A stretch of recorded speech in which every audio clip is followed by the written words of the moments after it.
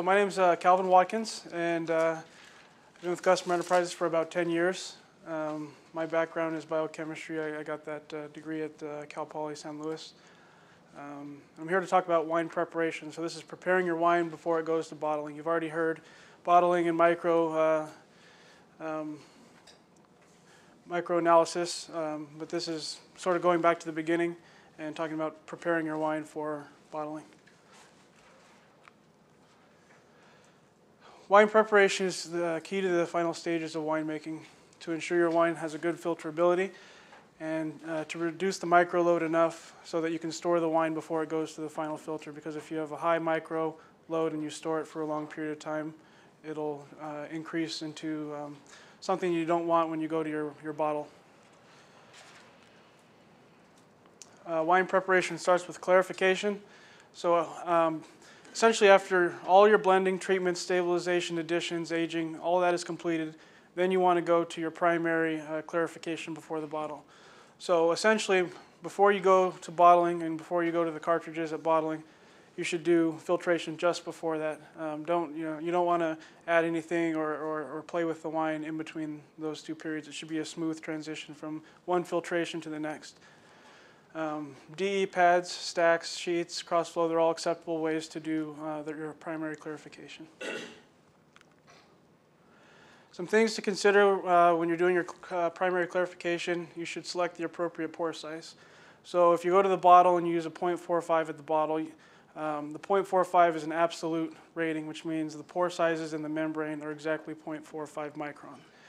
Um, but when you're doing uh, clarification um, before that, uh, you're usually using a nominal rated filter. So pads and crossflow, these are all nominally rated. That means an average.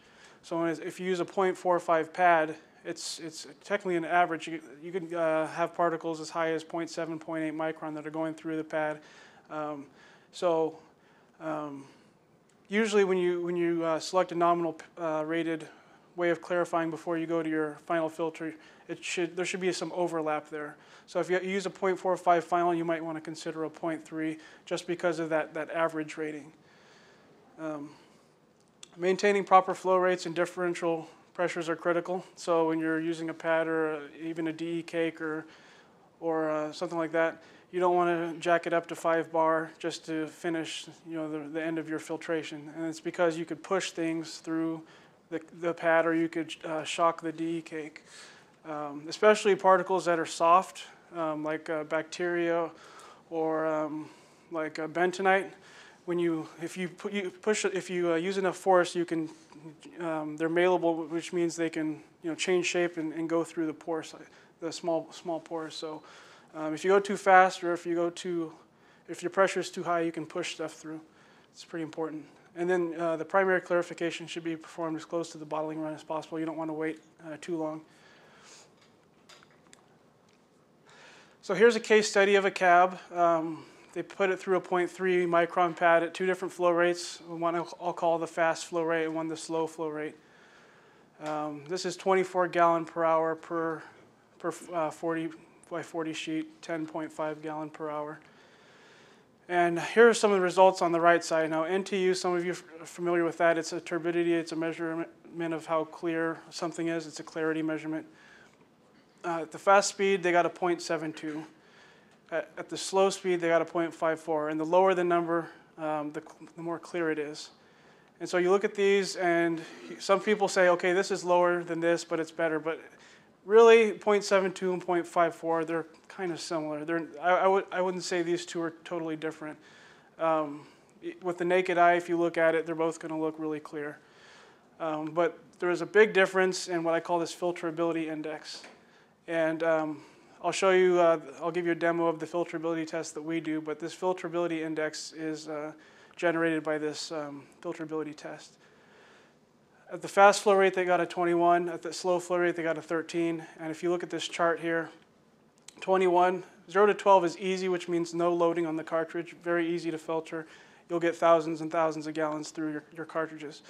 12 to 25 is acceptable, meaning it's, it's not bad. Um, after so, a, a, lot of uh, a large amount of wine has gone through, you might see start to see some plugging.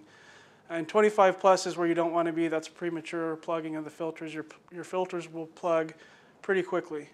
So even slowing down the speed, they got a significant better filterability index because you know 21 is almost in, in this bad area. 13 is actually really close to easy to filter. So slowing down the, the primary filtration helped at the bottle. You, get, you, you basically get more volume through. Here's a picture of a, a, a membrane filter uh, without any kind of pre-filtration and a membrane filter with pre-filtration. So this, this one, for example, was racked and then just put on the, the membrane. Uh, this is one with, there's been some pre-filtration. And so, you know, it's, it's, it's you know, obvious. You don't, you don't want to block your membranes prematurely and be uh, here. You want to be here. And this is ideal, not having very much particles on the membrane, since the membrane is the, basically, it's the costly part of filtration. It's your final, you know, assurance. So, um, and this is at 40 microns, so you can't even see, you know, some of the smaller things. So I talked about racking. Um, racking alone is not a suitable means of a primary clarification. Even well-racked wines will have poor filterability and block membranes if there's no primary clarification first. Um, and, and, when I talk about membranes, I'm talking about uh, 0.45, 0.6, you know. There was a question earlier, well, if I rack it and go to a 10 micron um, nominal cartridge, am I okay? Yeah, you probably are, but we're talking about the final filters, the ones that remove microbes. Um, so even well-racked wines will have poor filterability and will block final membranes. Racking does not significantly reduce any micro. So even, um, you've even if you've had you know, some settling and you rack over, not all of the micro is going to be settled at the bottom. It's, there's going to be quite a bit, bit still in suspension. If you rack over, you're, you're transferring all that micro over what the pre-clarification does is it doesn't reduce all of it. That's what the final filter is for, but it reduces a significant amount, a significant amount of micro so that you can store it for a short period and then filter it with the final filter. And racking is variable from operator to operator, so um, it, there's no consistency. Some, some people might do it better than others. Some people will take the wine all the way down to the bare bottom. Some will stop at the top, so there's, there's a little bit of inconsistency. Uh, mixing, and this doesn't mean uh, mixing or recirculating the tank. This means mixing two products together. So after you've already filtered, you don't want to pump over wine from a different tank. And it's because the, the two wines, um, since they, they've been separate uh, for a while and they've um, settled and, and they've become stable in that period of time, if you pump over a wine after it's already been filtered, you could have some interactions that, that form compounds and decrease your filterability. So if you wanted to put like some Cab Franc that you have in this tank and you've already filtered this tank of Cabernet and it's clear and you pump it over, you could have some interactions that could actually uh, decrease your filterability. So really you should, if you top off or mix, um, you should filter again. Storage, uh, tanks should be stored for a maximum of seven days after clarification before bottling. Um, that's a general rule. After seven days, you, you risk um, uh, micro counts being too high. So, um, you know, if you keep, of course, um, if you keep this cool, your tank's cool, you could get a little bit longer, but seven days is really a general rule. The longer a wine is stored, the lower the filterability through the cartridges at bottling, and that's because of the micro counts and uh, because um, other compounds that can form over time. Tanks should be stored cool to prevent microbial growth and the tank temperature should be consistent to avoid filterability changes. So um, if you have a cold spot or a hot spot in your tank, uh, you could actually see filterability changes um, at, in the cartridge, at the cartridge at bottling because uh, due to viscosity. So ideally, you'll have a uniform temperature in your tank. Um, this is the uh, so this is how bacteria or, or um, yeast grow. They double every so often, so one can, can go to 2, 4, 8, 16, 32, and that's what's called ex exponential growth. So the more micro you remove with a, a pad or a crossflow or, or a DE cake, the better, because that'll give you a longer storage period before you hit bottling. If you just rack it, you're not reducing the micro load at all. So if you rack it and then wait, um, you're, you're going to get all of this micro on your filters and clog your filters. Um, temperature considerations uh, when you're clarifying.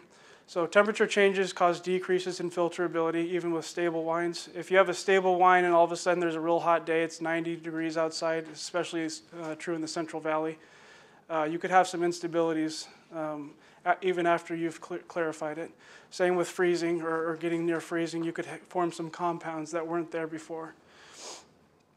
Um, increased temperature at bottling increases filterability. That's due to viscosity. Uh, so the warm, warmer wines will do better um, at, at bottling than, than colder wines, and that's because um, they, they flow easier. Uh, decreased temperature during storage increases microstability. Uh, so the, the colder the tank, um, the slower the micro growth will be. So really, um, you know, you should consider optimizing your temperature. Maybe take a look at temperature and see how it affects your process. Maybe see if uh, you can make some improvements in storage and at the bottle. Poly, uh, polysaccharides, so this is an interesting topic. Um, pre-filtered or clean wine can still result in poor filterability. So you've racked it or and then you've clarified it. Um, it's a 0.5 or 0.4 NTU. It's really low. It looks really clear, but all of a sudden it's blo blocking your filters and you don't know why. Um, it could be due to polysaccharides, which are uh, long chain um, molecules. Uh, pectin and beta glucan are the two notorious ones, and these are present in grapefruit. Um, and uh, I don't mean grapefruit, the fruit, I mean grape flesh. Um, and also, it's also very common to see these in people that use uh, grape juice concentrate for color. But um, in many cases, a, wine that's already clarified will plug a membrane um, if it contains these polysaccharides. And a quick test uh, to check for polysaccharides, you can actually do it in your lab. I, I don't have it um, here on the slide, but if you want to take notes, it's very simple. You take uh, about 20 milliliters of wine, and you want to add about 40 milliliters of 95% ethanol. And it doesn't have to be food grade. It can it could be um, you know the stuff with benzene in it. It doesn't matter. And then you want to add a drop or two of HCl, hydrochloric acid, or uh, um, sulfuric acid, just some acid to uh, change the pH of the solution. And what you do is stir that up a little bit, and you'll see if you have pectin in your wine, you'll see these white globules or precipitate fall out of solution, and that's a positive, positive test. Um, and so if you have pectin, uh, the best way to improve filterability is to use a pectinase or a, a beta-glucanase or a, a cocktail of the two. That'll improve your filterability. Yeah, 20 mils of wine, 40 mils of 95% alcohol. So it's one part wine to two parts alcohol. It doesn't matter the volume. So, and then you just add a little bit of acid to change the pH to make it acidic. You can do it in a beaker, and it, and it takes about 10, 15 minutes if to you wait about that long, and then you'll see um, white globules or white precipitate fall out and settle at the bottom of the beaker, and that means you have pectin.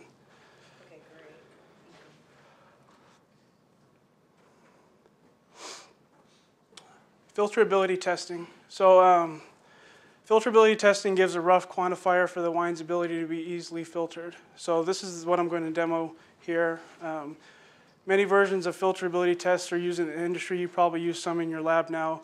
Um, but most use this uh, small membrane disc, disc to filter uh, to measure filter blockage over time. There's pictures of the, the Swinnex filters here. They're little um, housings that hold membrane filters.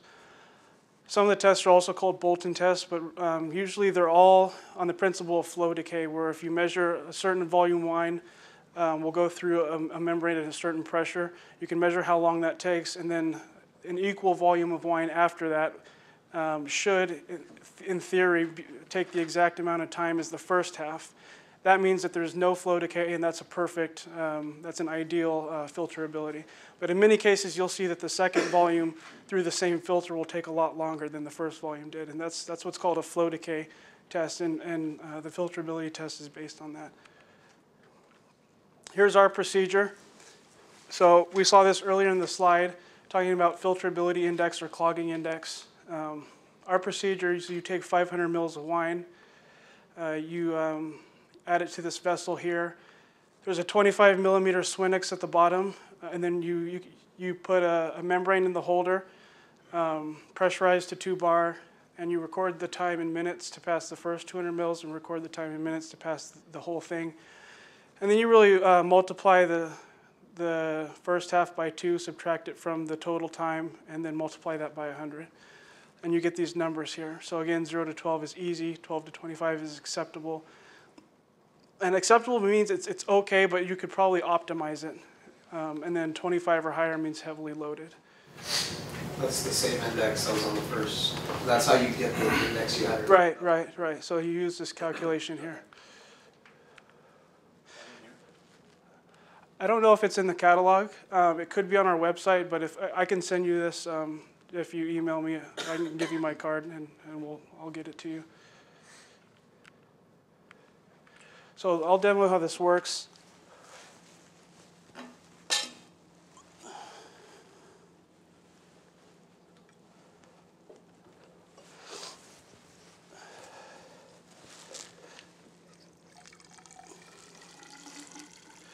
I'd like to thank everyone for not laughing as Calvin dispenses wine from a cardboard container.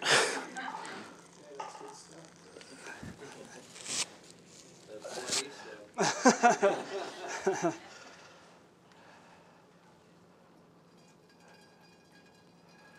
So pouring into this vessel here, there's actually a, a, metal mesh screen at the bottom that traps any really large particles. The opening's very big.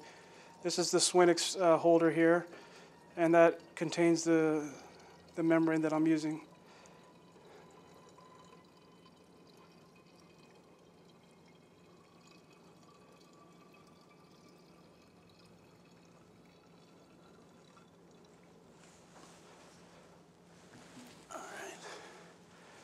Up the vessel.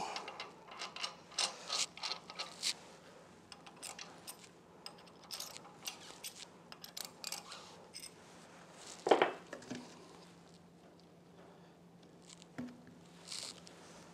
have a stopwatch here, and so I'll, I'll turn on the air like so.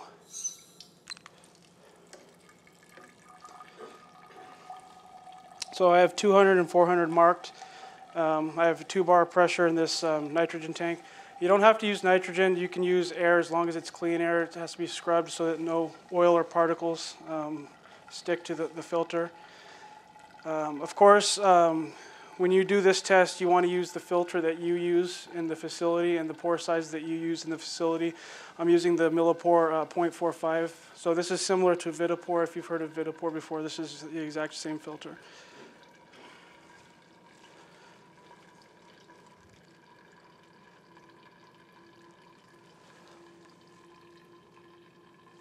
So this is 45 seconds at 200.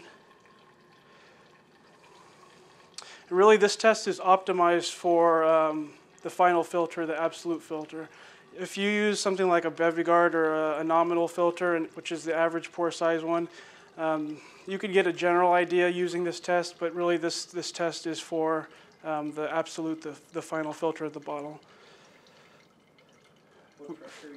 This is a two bar, it's uh, 29 psi, yeah. There is another uh, test you, um, you can do um, uh, using uh, like a pad filter um, if you wanted to check um, nominal ratings, but it's, it's, you would use a different setup. You wouldn't use this one. You would use a, um, something with a positive flow pump and a, and a pressure gauge. So ideally, you know, the second half should have took as long as the first half, but if, as you, as you can see, it's slowing down quite a bit here near the end. And here's my mark here. So I'm at 108 seconds on this, uh, for total time.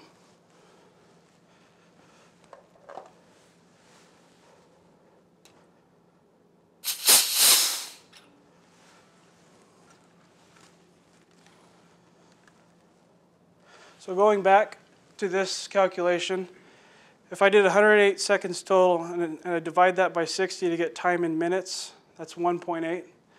And if I had 45 seconds for my first 200 and I multiplied that by 2, that's 90. And then if I divide 90 by 60, I get 1.5 minutes. So if I take 1.8 and subtract 1.5, I get 0.3. Multiply that by 100, and I'm at 30. So if I had 5,000 gallons of this particular product, uh, and I was trying to go through a membrane, I would have, I would think that this wine would plug a, um, a .45 uh, membrane. Um, you know, at the time, this wine was probably clear when it was uh, when they filtered it. It was probably you know a little bit easier to filter, but in the box over you know I don't know a few weeks, the, uh, your filterability can change.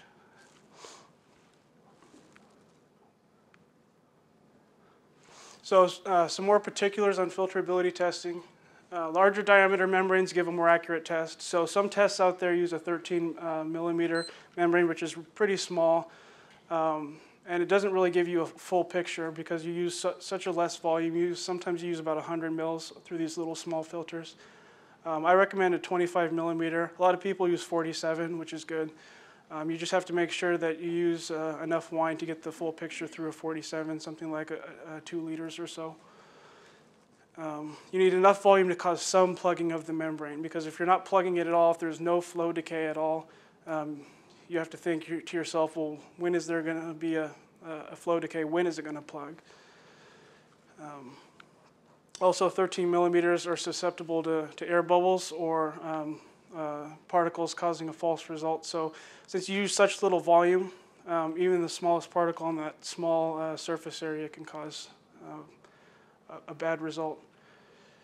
Small changes in the way you do the test can have a big impact, so make sure your filter size is consistent, make sure your air supply is consistent, that you don't have any um, sputtering or stop and start on your air supply, and make sure you record your time accurately. Uh, even a second or two can change your filterability index. Uh, membranes are the best choice for determining the filterability since the lot-to-lot -lot performance is pretty consistent. Um, so if I were to do the, the test again, I should be getting consistency. So today I got 32, 32, and 30 on the index. It was pretty consistent. Filterability testing provides one data point for one time period. So it's like a, a snapshot of the tank at that time. Um, uh, so you know, it's important where you sample. Um, if you sample at the top or at the bottom, it's probably not representative of your entire filtration run. So uh, partway up the tank is probably best. At the bottom, you have a lot of sediment that sits down there, and the wine is dirtier at the bottom. Also at the top, you could have uh, either um, you know wine that's too clean, that's not representative of the whole tank, or wine that where uh, there's been some oxidation that could cause some compounds. Um, so the best place to settle is right in the middle. That's going to be the bulk of the um, product, and that's going to be a representative sample. Uses for the filterability number. Um, the results help you identify hard to filter wines. Um, whether you need an additional clarification stage, whether you need to reclarify the tank, or if you have polysaccharides, it, it can help you identify these things. It can help you gauge your process improvements. Um, so whether you need to add a crossflow maybe to help um, improve that filterability number, whether you need to implement storage or temperature rules to, to improve that number. So don't just test for the sake of testing. Um, if you test and you get a number and you say I got a 20, that's acceptable. You know, think about how I can uh, improve my filterability through the membrane. How, how can I get it to a 10 or an 8 or a 6 by um, adding some of these rules or some of these uh, process improvements. So with that, I'll hand it to Jim, and he'll talk about um, hoses. Thank you, Calvin. Good afternoon. so we are going to talk about hoses. I'm Jim Lunt. I'm going to introduce in a minute Peter Tiedemann. Peter is the product manager for ContiTech North America. They make the Blaudieck wine hose, in addition to a bunch of other hoses, especially hoses for breweries, etc but we recommend the Blaudieck uh, for wineries. um, Gusmer sells this hose that uh, ContiTech makes, so that's why we're here. Peter's a product manager for ContiTech. He's been there eight years, and he's been in the industry for 23. I'm a product manager for Gusmer. I've been with Gusmer two years, and I've been in the industry 40 years. So the question that you probably have on your mind today is, if he's been in the industry 40 years, how does he look so young? Um, perhaps that's not the question. Maybe the question is, why are we going to bother with hoses? Maybe that's a better question. So, um, hoses, of course, are an important part of what goes on in a winery because they're what you use to transfer wine from location to location, tank to tank. You may have seen in some of the other, set, other sessions discussion about BevTrack.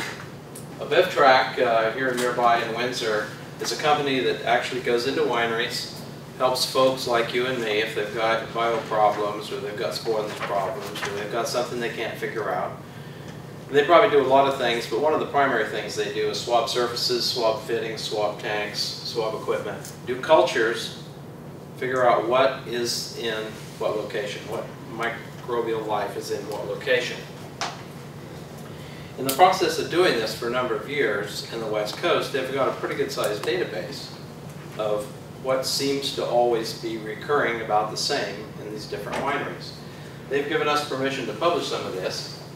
So here we have a slide for yeast bacteria and mold hanging out in bottling equipment. This is a sum of what they've gathered in their culturing.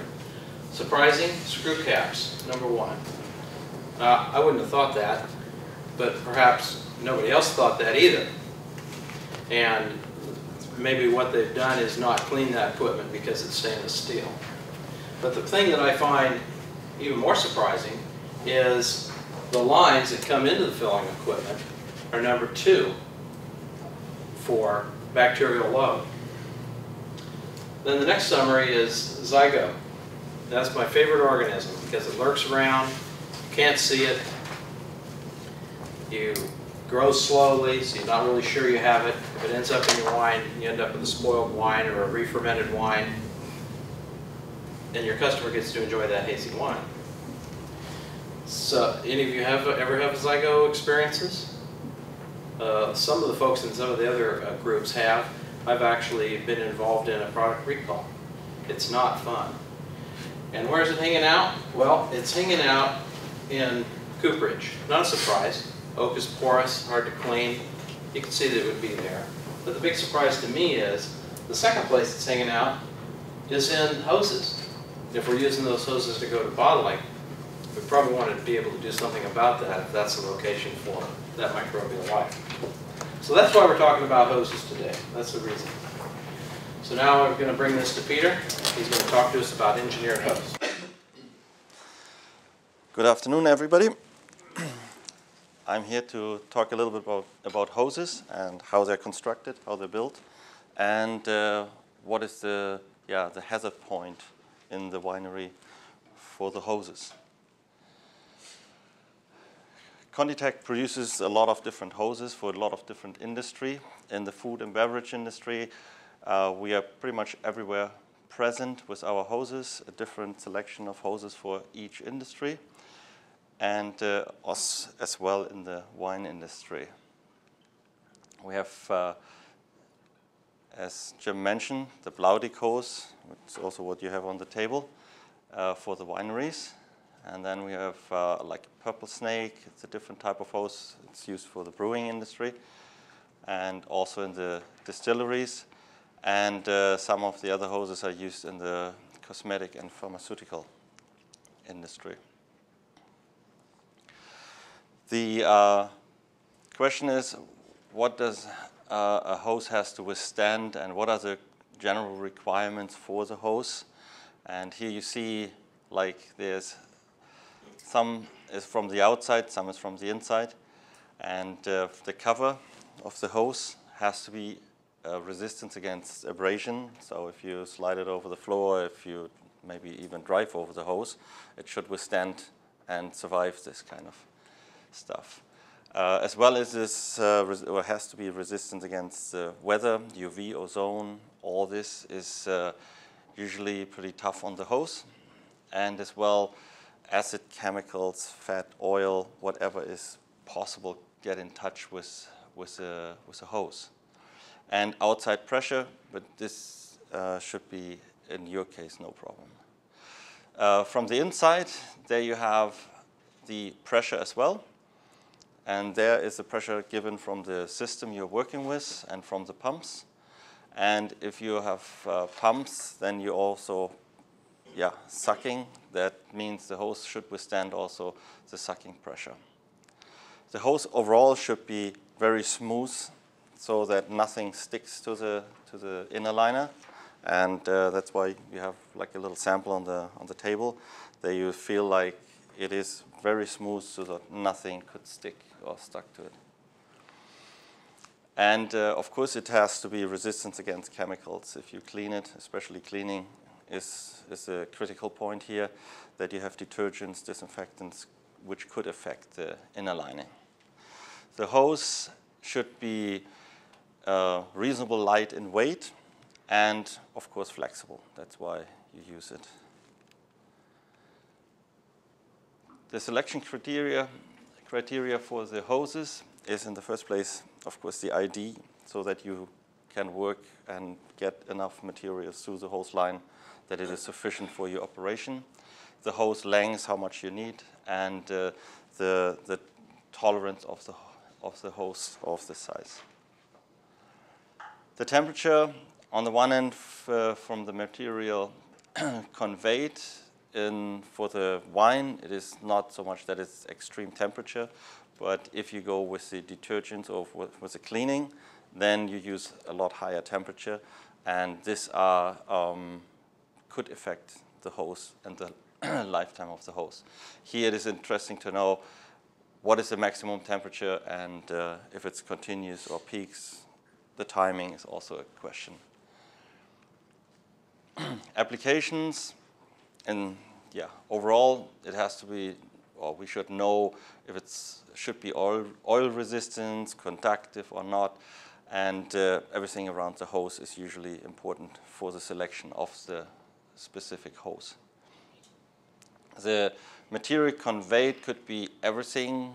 Here it is wine, but also if you have cleaning substances, then it is a question what is going through the hose and if, it, if the hose lining is resistant against this. The pressure is the working pressure of your system or of your operation. And uh, the hoses are usually, these hoses have a safety factor of four, so it's, this one is designed for 10 bar, 145 PSI, and so it's uh, currently 40 bars uh, for the burst pressure, above 40 bars. And very important part or piece of the whole hose or the hose line is the fitting. On the one end is the type size, because the fitting is actually responsible, it's yeah, attached to the hose, and both of them have to match very well to each other. And because it, this could be a hazard point for, the, for your operation. As those two samples go around together and take a look at them, they're a set and you can see a difference in them. Yeah, they are marked.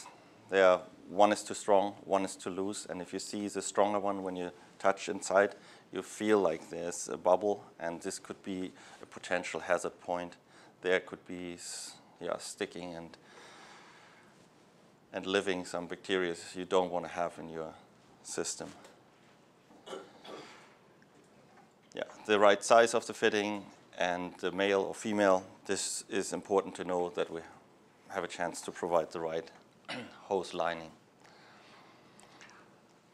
What could happen if you not consider the right hose or if you use the wrong hose for your oper operation or for your material that you convey, then the first is contamination of your wine so that it is damaged or damage the wine. And uh, of course, if it's also related to the, to the life of the host, the lifespan, and uh, it could shorten, so extremely shorten the, the lifetime of the hose. This hoses, for example, they, they are good for at least eight, ten years if you use such, such a hose. For example, you saw the brewing hose. They are in use in breweries for, yeah, eight, ten, sometimes even longer and they are cleaned every day. They are under really tough conditions. And so this hose lasts really long if you take care of it. Um, yeah, the degradation of the hose, that could, yeah, that makes sense, or, or it is, uh, could cause leakage of the, of the hose line and uh, bursting if you not have a proper hose you could have a bursting hose line or which could affect the people around and could actually harm people. Electrostatic discharge is also important in a certain area, depends on what you're working with, and uh, all of the hoses are conductive from the hose outside. The hose cover is conductive. So now I would like to talk a little bit how the hose is constructed, so to see how it's built actually. These hoses are extruded on a, met, uh, on a steel mandrel. It's a continuous process. And uh, here is an example with an UPE liner. UPE is an ultra-high molecule weight polyethylene. It's a special lining for chemicals. It's a very, very good chemical resistance with this material. And the next layer is an intermediate layer um, to protect the inner lining from the reinforcement layer, also to get a better adhesion between the reinforcement layer and the UPE lining. The next one is again an intermediate layer, and here in this example it is a helix, which could be steel or polyamide, depends uh, on the uh, application. And then you have another reinforcement layer. You can build um, as you like the hose.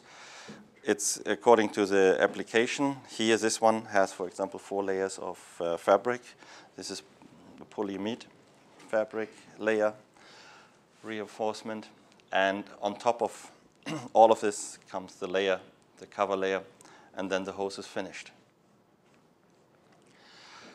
The inner lining the lining of the hose, the most important stuff, it has to be according to the FDA regulation. It has to be certified so that it is safe to use in the food and beverage industry. It has to be very smooth and non-porous so that really nothing could stick to this layer and cause any problem or creating a hazard point in your operation. And very um, uh, important of, as well is that it's not affecting the product you convey through it, that there's no change in odor or, or in uh, the taste of the product.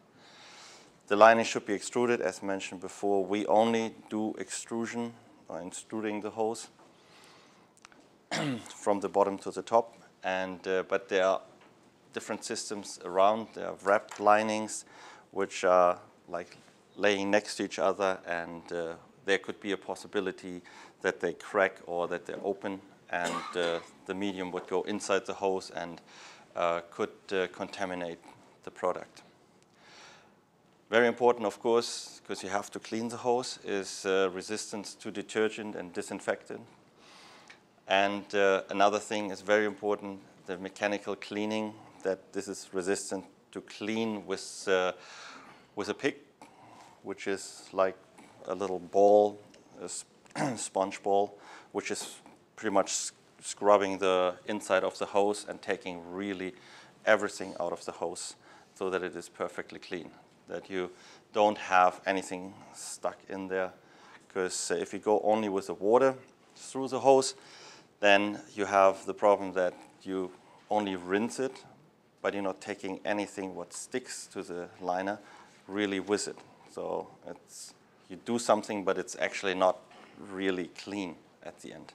And there's bacteria and everything growing in this kind of uh, uh, lining. According or with the disinfectant and detergents, uh, it's important that they are resistant, or the inner layer of the hose is resistant. So that's why we have also a list which a lot of different uh, disinfectants and detergents so that we can check that everything is good to go through the hose.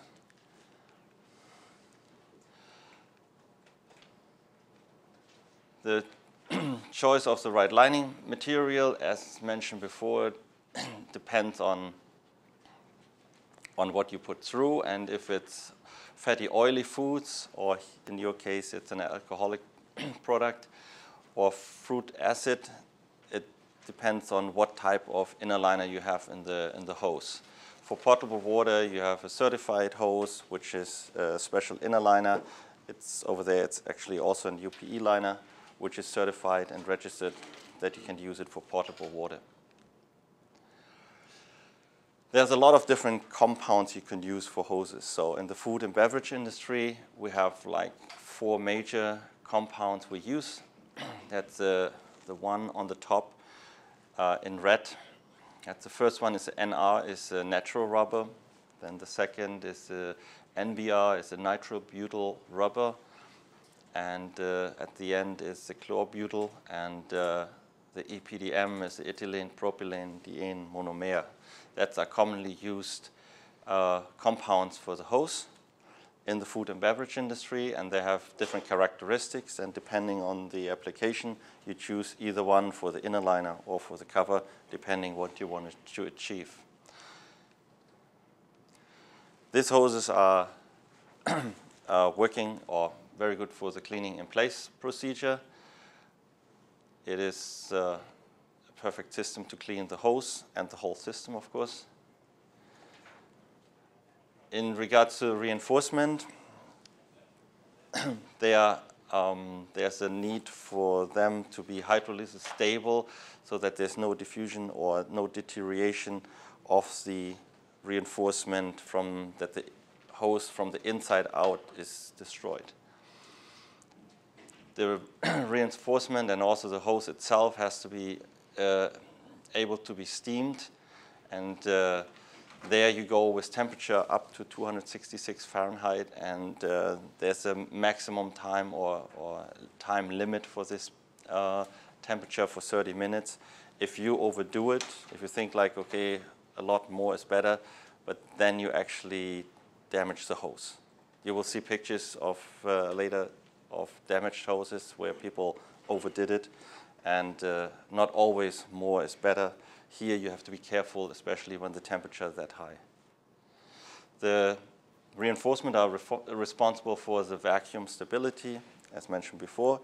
And here you could use, or responsible for that is the, the textile layer. Here with the four layers, this is a very stable and solid hose. So you achieve here also vacuum stability with this.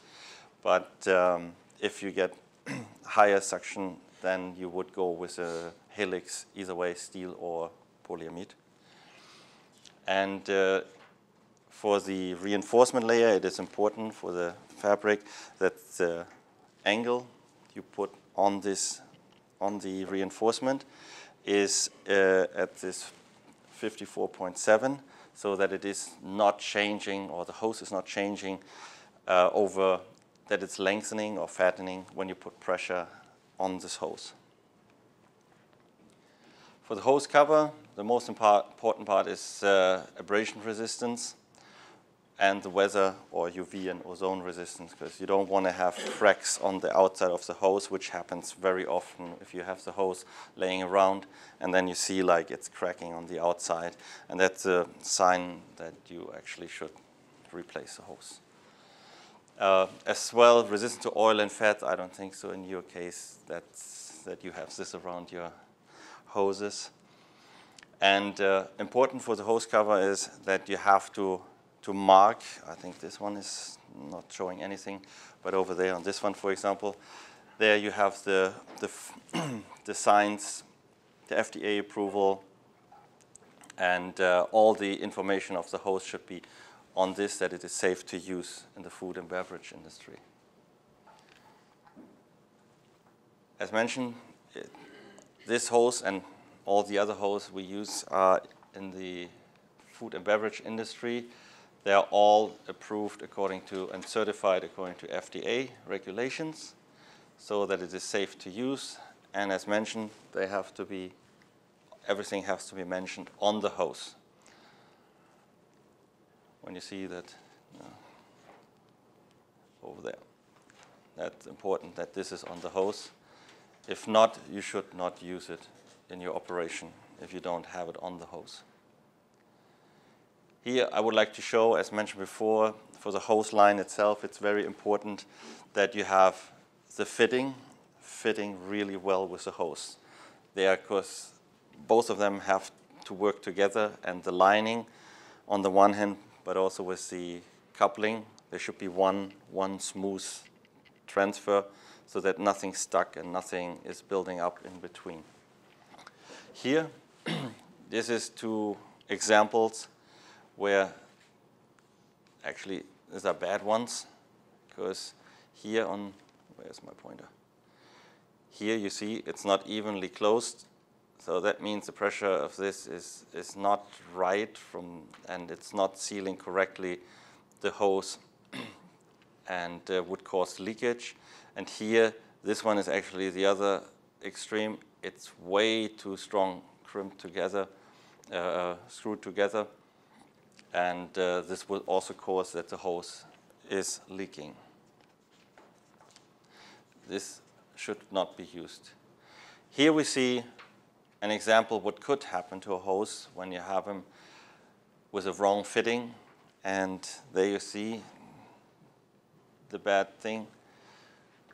You have here a lot of stuff stuck in, stuck in, uh, in the hose and creating really a point of hazard for your operation because you have your wine going through this area and taking nicely all this stuff with it. You see the notches on the outside of the hose? Not the inside piece, but you see the notches on the outside? Those are bandits. You know, it's very common to use bandit bands to clamp uh, a hose barb into a hose. And they hold really well. You know, they originally were designed to not allow the fitting to slide out.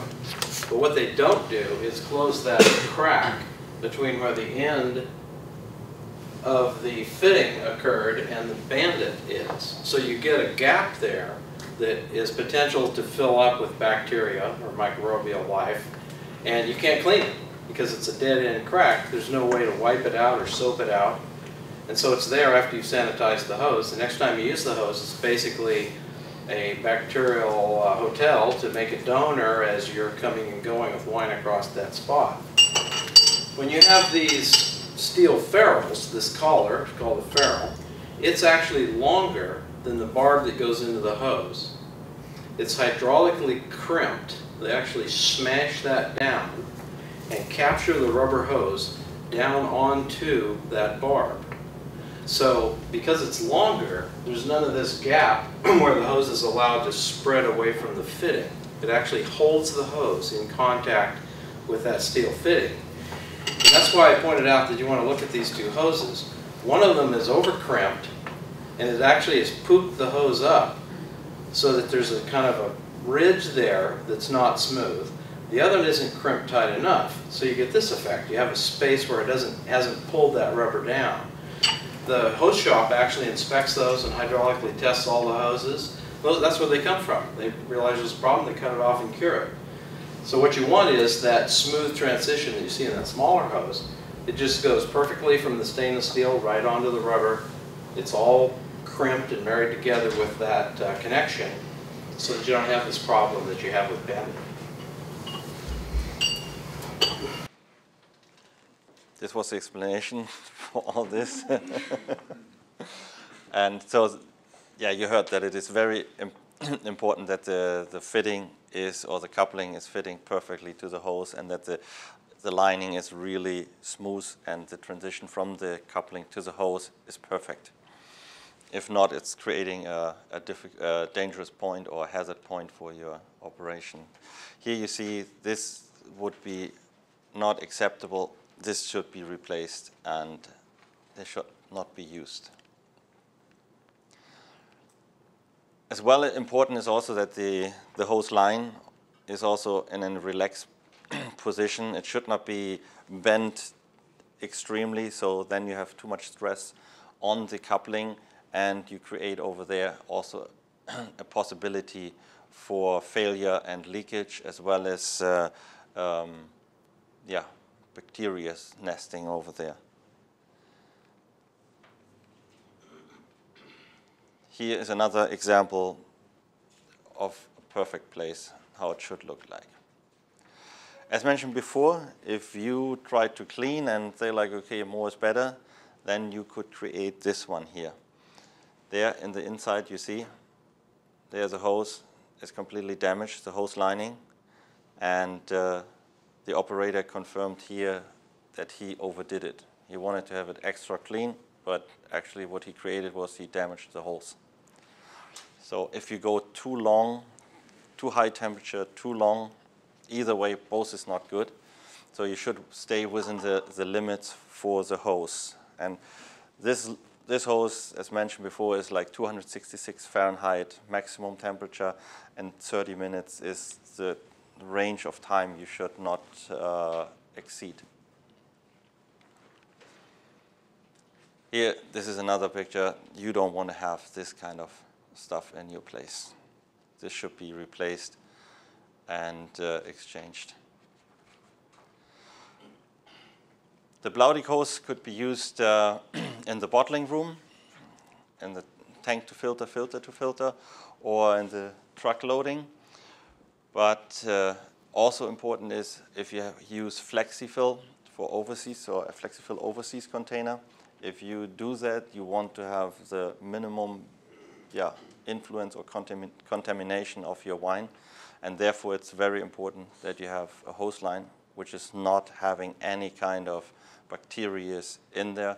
So therefore, it is very important to use the right hose line or a good quality product so that your high quality wine is not somehow affected and your customers spoiled or, or get like a bad, bad quality wine.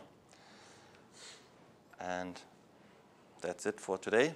Thank you very much. And any questions for me or for Calvin? Or for Tom, uh, Jim, of course. Sure. Yeah, that other one. Yeah.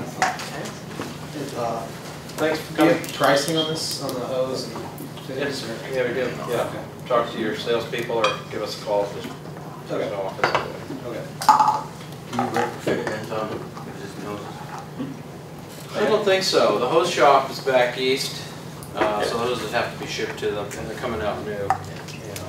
Yeah, because you have to use certain, certain companies who are qualified for that, because they have to pressure test the hose and to certify that it is 100% correct, and they label it.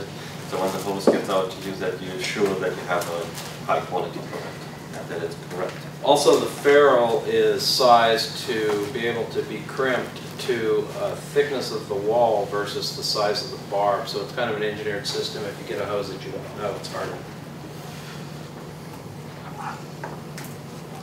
How do you, how do you keep this looking like that so you can use it as opposed to a guy dragging around a solid color? Yeah. They have Uh, Now, does he report, does he report to you? Can you motivate him?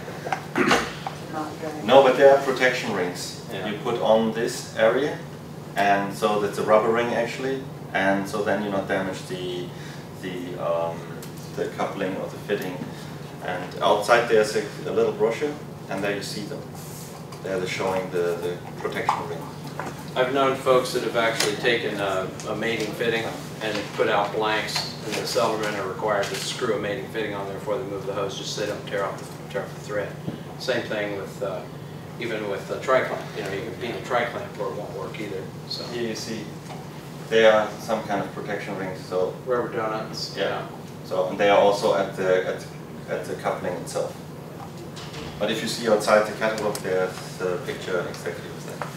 Generally speaking, on cleaning of hoses, and we weren't here to really talk about CIP, but generally speaking, whether it's our hose or somebody else's hose, be sure that you're cleaning with over 10 linear feet per second flow. Uh, Think of the water running down a stream. You know, all the water's running really fast down the center of the stream, but on the bank, you know, it's just kind of wandering along. It's the same with any hydraulic system, same in air ducts. And it's the same inside of a wine hose. That water is really flowing through the center, but it's just walking down the wall. So what happens is, it doesn't really get a scrub.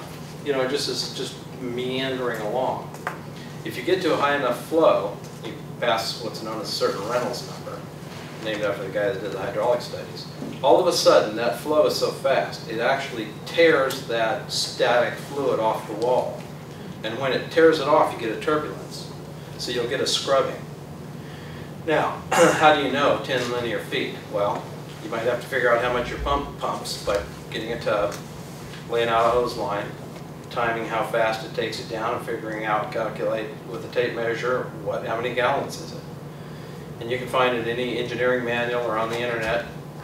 A gallon is 231 cubic inches.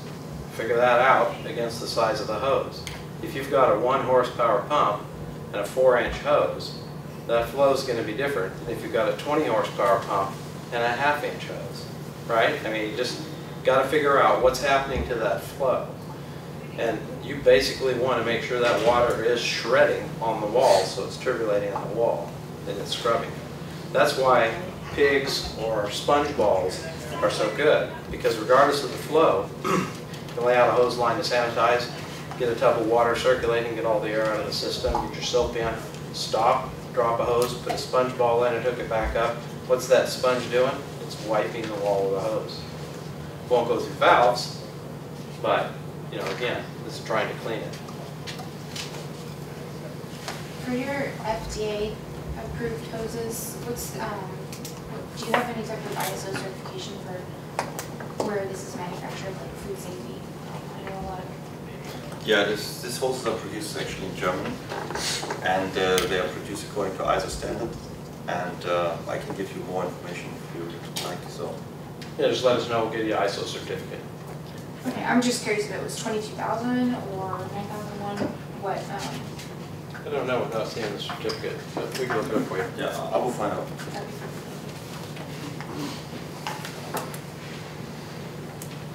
Thanks for coming. Thank you. Thank you.